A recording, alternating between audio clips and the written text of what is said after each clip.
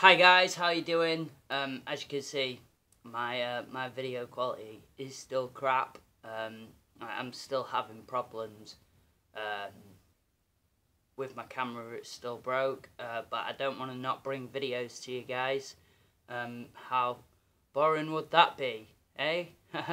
um, I also know I'm not the best in the world at this, but you know I'm getting somewhere and people dig these videos. Um, I'm still getting responses, um, mainly on Facebook, not so much in the YouTube comments, but I mean, a lot of my friends are on Facebook and Instagram, and they're not on YouTube. Um, which doesn't, you know, I'm not excluding anyone. If you are on YouTube and you watch me often, then I really appreciate that, more so than people on Facebook, because um, you're going out your way to check my channel out, and that's always cool. Um, we're going to start off with the Facebook things. Um, three questions again that I was asked. No one did the movie thing. The three movies, no one pretty much told me what their favourite movies are besides superhero movies and stuff. So clearly you're here for one thing only and we'll just carry on with that. Eh? Um, but yeah, down here, so the first one is my top five superheroes, okay? And uh, the guy I was talking to sent me the question. They he said to me, it's not um, exclusive in any way, so this can be superheroes, uh, not just from Marvel and DC. So I assume people I'd put on this list, I'm allowed to put on this list. They're technically superheroes. Um, but my top five, so I mean, the first one, which I mean, you're, you're all gonna know, number one, my top one, my absolute favourite, always got to be this guy, right? Batman. It's it's got to be. Um, my second on the list, and this changes with the third. They always interchange. Um, but the second on the list is the Power Rangers. They are just the best superhero team out there. Okay, they've got all the fighting skills, and they have the weapons and all that kind of stuff. Uh, they look great as a team, and they have Megazords, and they always come out on top. Um, love the Power Rangers.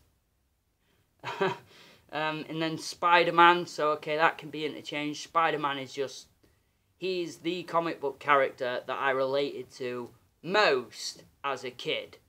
Um, yeah, don't know why I picked that figure up to show you, but I've been doing some PCAs with him in Carnage, so...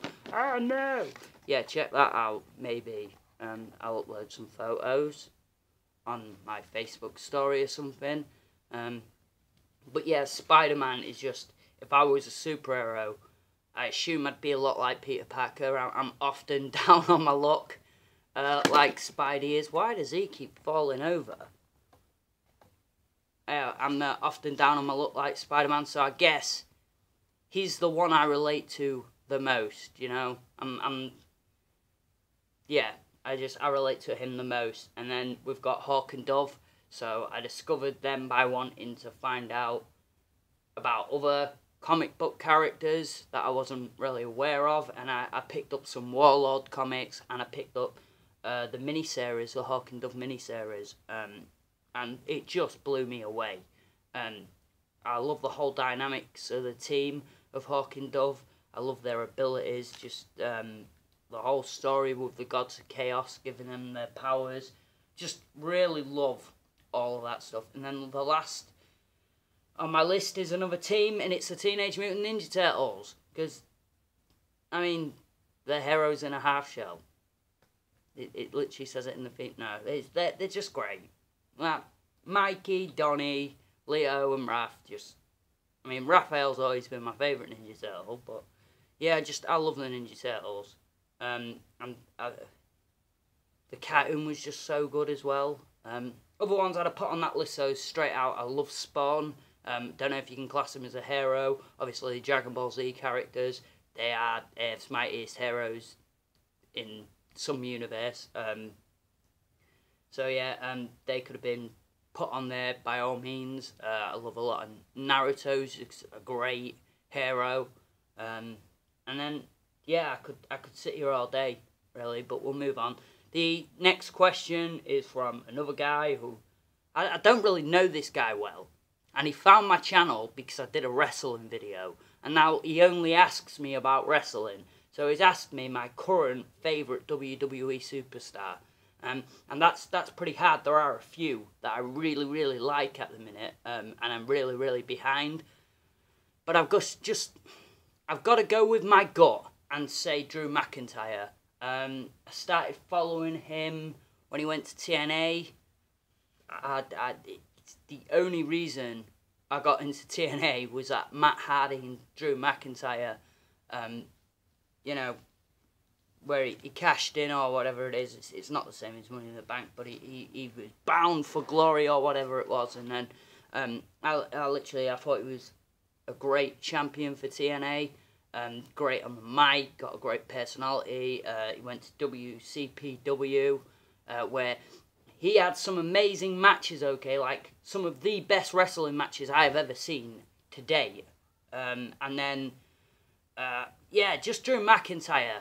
Um, I don't know where it's going to go with this feud at the minute with Braun Strowman, but if Roman Reigns has to drop the belt somehow, um, which you can't see WWE doing, but if Roman Reigns drops a belt, um, imagine he drops it at Crown Jewel um, to Braun Strowman. Braun Strowman, they, they put him over big time. He actually just destroys Roman Reigns and Brock Lesnar. Okay, because he would deserve that. He's a fucking great talent, Braun Strowman. Um, and then McIntyre challenges him for the Universal title. Come on, give us that. Yeah, I know WWE don't have an end planned yet for this. Mm, just give us that, okay? Listen to me and only me and give us that. That would be awesome. Um, I don't know how other people would feel, but that would be awesome. Right. Uh, the last thing on the list, um, someone asked me, and I'm not sure how to take this question, but it's would you give up your toys um, or your collection for Brooke? Um, if you mean in the sense that if she was like, yeah, it's either me or your figures, uh, which she wouldn't do, by the way. Let me just put this out there right now. If this is, would I give up my toys because Brooke asked me to? She would never do that, okay? Um, I'm not making out that I'm the luckiest guy in the world, but I am fortunate to have a partner who, uh, you know, supports what I do. Um, and, you know, she finds her own enjoyment in it too. Uh, she, she would never ask me just to get rid of them because she didn't like them, okay? Um, fully supportive of everything I do, whether it be the band, um, my job, which I'm passionate about, uh, or, or, you know, collecting toys. And she has to put up with a lot of earache, you know, when, when new figures come out and stuff and I'm not getting them, when they're, they're not being stocked in my area, okay? Um, but yeah, she's just really, really supportive. If you meant, like, if we're in a financial struggle, okay, because um, this is obviously been thought of it a few times, but if we were in financial need, um, and we needed it as a family, I would definitely, in a heartbeat, I won't even think about it. All this would just be gone.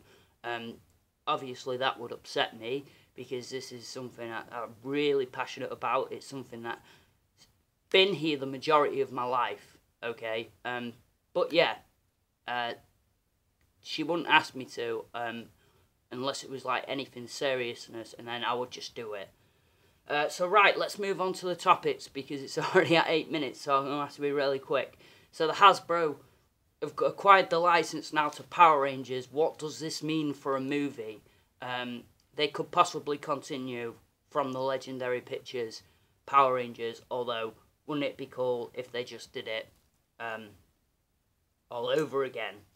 Uh, how awesome would that be if they just did a reboot and uh, made it more faithful to the original show and stuff? Maybe some of you would like to see that, maybe some of you wouldn't, but uh, I would. I actually wrote, it isn't me being vain, but I wrote a screenplay for a Power Rangers movie when I was in college, okay? Um, certain stuff like uh, Bulk and Skull were not idiots in it, they were proper bullies, okay? Um, you know, I was touching on something personal with them. Um, and they have their own arc in, in my screenplay and stuff. And if you would ever want to hear about that, I might do it in a separate video. Um, just let me know in the comments whether you'd find that interesting to hear my um, my own screenplay. Don't judge me too much. Um, so there you go. Uh, what Star Wars standalone movies do I want to see the most? I'm not going to spend a whole lot of time on this. Just give us Ewan McGregor as Obi Wan on Tatooine. That's what I want to see. Um, obviously, bounty hunter movies would be cool. Um, it would be very interesting to see that. Maybe a film. I don't know if they could cast Liam Neeson again, but maybe a film about Count Dooku and Qui Gon, um, or the guys in the bar that I forgot their name. I feel like such an idiot. All you Star Wars fans are judging me right now, but the the the thugs from the bar in Star Wars: A New Hope. Um, what if we got like some really funny, not stoner movie, for instance, but like a road trip movie set in the Star Wars universe with them two? That that would be pretty funny. I would go see that. I would I would probably enjoy that. Let me know what you think. Um, and then the last one, okay. Uh, I, I I talk about the same subject subjects in a lot of these videos. I I am aware of that. Um, they're just things that come up in my community, um, and they're the, the things I want to talk about the most. So, uh, do we have a right to be angry at actors leaving roles? Now, this is interesting. Um, I was talking to a buddy, and uh, we was both talking about how you know this is going on with DC at the minute, where we're pretty much sure uh, Henry Cavill and uh, and Ben Affleck aren't going to do their roles in superhero movies anymore. Now, do we have the right as fans um, to be angry at that? So my friend was saying we absolutely do have the right to be angry at that because there's a certain level of trust, okay? Uh, the most important thing about making a Marvel movie or a DC movie or a Star Wars movie, the most vital thing you have to get down is you have to do it justice for the fans, okay? Um, we, we as fans, we put a lot of trust in uh, you big companies who make these movies. Um, me myself, I put a lot of trust in Ben Affleck um, when he said he was going to do Batman uh, he made me nothing but nervous the whole way through because it, it didn't even sound like he wanted to do it in the first place. And then this thing came out where he was like, oh, I'm looking for a cool way to escape the cow. You should just not done it in the first place, if that's the case. Um, I was trying to remain neutral, but that does actually anger me. It does annoy me um, that he, you know, what he had to be coaxed into it or whatever. Um, he'd never really wanted to do it in the first place. If that was the case, okay, you shouldn't have done it then. Um, you know, you, you know what these movies mean uh, to the fans. You did Daredevil, which I don't hate, by the way. I love the Daredevil film with Ben Affleck in. A lot of people don't like it. I like it. Done. We're uh, we're over that. Um, but yeah, it, you should have known, dude, and you dropped the ball big time uh, because yeah, Batman's such an important, integral character. Um, let me put it this way: if Ben Affleck didn't get involved at all, if they started world building, and don't tell me they couldn't do it because it wasn't real, uh, realistic, and blah blah, and they were trying to set in the real world, they could have started this DC extended universe, okay, with Christian Bale's Batman, um, and I'm pretty sure Christian Bale would have done it as well. Um, you know, he could have been picking up on spikes just in the background of the movies. He could have been picking up on spikes of where, you know, Superman had started to obviously show his powers, but he wasn't known to the world and stuff. And um, it would have worked. And uh, I would have really enjoyed that. Um, and it's just a little bit sad, I guess. Um, now, we trust you guys to go into these movies and here's what I mean, basically. I wouldn't accept the role for a movie if I wasn't confident I could do it. Okay? So if someone came to me tomorrow and said, we want you to play... We want you to play Thor in a new Marvel reboot. I couldn't do it. I ain't got the build for Thor. I ain't got the attitude for Thor. I, I, I would not be able to put myself in a, in a situation where I could probably play Thor. Um, that being said, if I was offered a Spider-Man role, I could probably do that. Um, or if uh, the Doctor, if I was picked to play the Doctor um, from Doctor Who, I could probably do something with that. Um, but characters like if you wanted me to be Hal Jordan in the Green Lantern, I do not think I could do it. Um, you know, it, it, I, I, I can't play a bad guy, okay, because I can't relate, so I'm not very good at playing a villain, so that would put a lot out. So what I'm saying is, like, Ben Affleck, if he wasn't confident that he could do a really good job as Batman, which I think he did, Ben, um, I think he did a good job. Uh, it, it's sad that you, you know, critics or whatever have uh, swayed you in the way they have. Um, but I think you did a good job.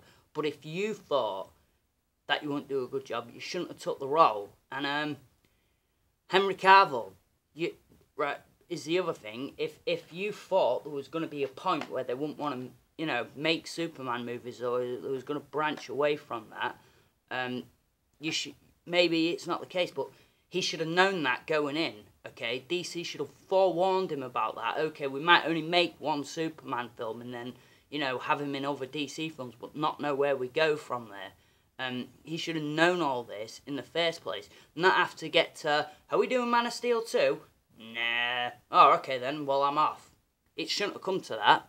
That is really frustrating from a fan's point of view. Like I said, we've um, with with Josh Brolin, it's Thanos. No one knew that was going to work. We literally put all of our faith and trust in, Bro- in Josh Brolin, and he delivered. Um, same with Ryan Reynolds when he when he was Deadpool.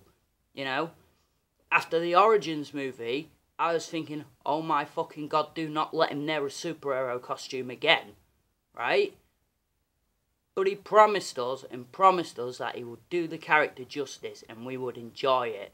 And, you know, at the end of it, you'd come out and you'd be like, okay, fucked up big time with Green Lantern. But Deadpool was amazing. And he did it.